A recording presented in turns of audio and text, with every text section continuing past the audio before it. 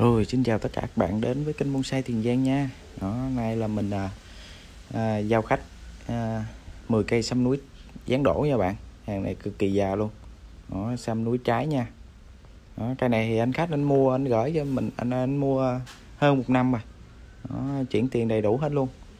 Rồi gửi lại chỗ mình nha các bạn. Nay thì đến ngày giao cho ảnh này nha. Đó, giờ mình tiến hành mình chở ra xe tải đi giao cho khách. 10 cây nha các bạn. Đó, 10 cây này là quá vip luôn cực kỳ đẹp luôn nha. Xanh với trái dán đổ đó giờ là lên xe tải nha các bạn.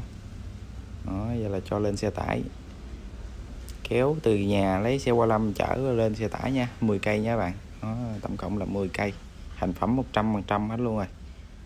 Đó, giao cho ảnh. Ảnh mua hồi uh, hơn một năm mà gửi cho gửi gửi mình hơn một năm luôn. Đó này uh, tới ngày rồi chuyển giao cho ảnh nha.